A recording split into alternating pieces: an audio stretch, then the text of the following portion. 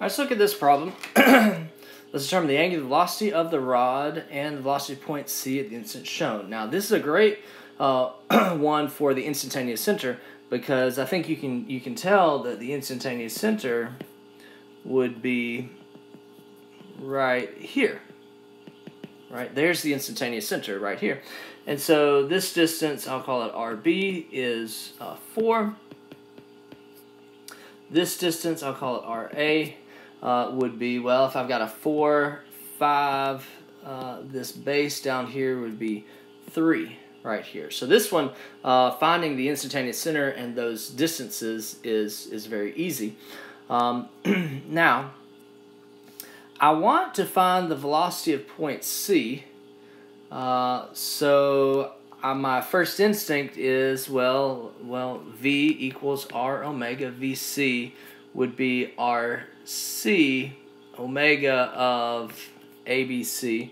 Um, that would be our C right there. Uh, but anyway, I, I don't have, uh, it didn't really ask me to, actually, sorry, it did ask me to find the angular velocity of the rod. Uh, okay, so, so anyway, I need to find this angular velocity. How can I find that angular velocity? Well, start at A, right? Let's start at A. Uh, and I'm looking at the imaginary disk, link ABC, uh, and V equals R omega. So VA equals RA omega of that bar, that rigid body. All right, so if this is 6, and RA is 3. Omega would be 2 radians per second. All right, so now I can use that right here. V equals R omega. All right, so this distance right here, this RC, I don't really need to overthink this.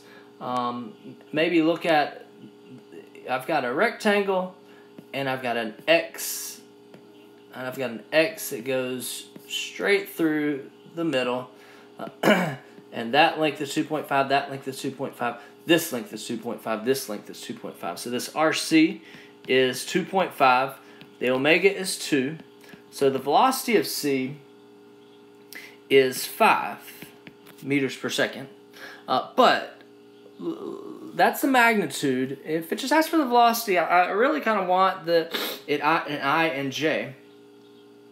So let's really uh, look at this. what direction? What direction would this velocity be? Uh, well, it would be perpendicular to this radial line right? The velocity would be perpendicular to that radial line. so you might think that it, it looks like it might be down along here. No, it, it's, it's more of right that direction. Uh, so if I know that's perpendicular to that pink radial line, let me kind of figure out where what this pink radial line is at. It is Uh, we could th think about it a number of ways, but it is a 1.5 by 2 by 2.5. It, you see that, that it's at that angle. So my velocity would be perpendicular to that. Let's switch the x and the y. 2 by 1.5 by 2.5. Alright, so let's just get that, pull that out right here. The velocity would be, let's see, the x component 2 over 2.5 and uh, 1.5 over 2.5 down in the negative j. VC. So you might you might could imagine this if the magnitude is five. Uh, yes, this comes out to be four and by 3, it's 4i minus 3j meters per second. 4i minus 3j meters per second. All right, but so you see, the first thing I need to do was look at the imaginary disk, uh, find the instantaneous center to get this angular velocity, right? Using that instantaneous center is a good way to find the angular velocity uh, for many of these problems. Um, and once I had that, then I can find any point, any other point. So instead of going to B, I went to C. Um, and if I knew the R for C, if I knew the distance that C was away from the center of rotation, then I can use V equals R omega.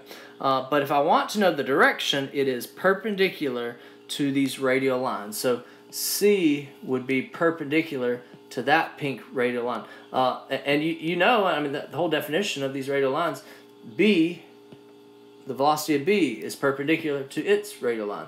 Velocity A is perpendicular to its radial line. Uh, so if you know the direction of the radial lines, then your velocity is perpendicular to it.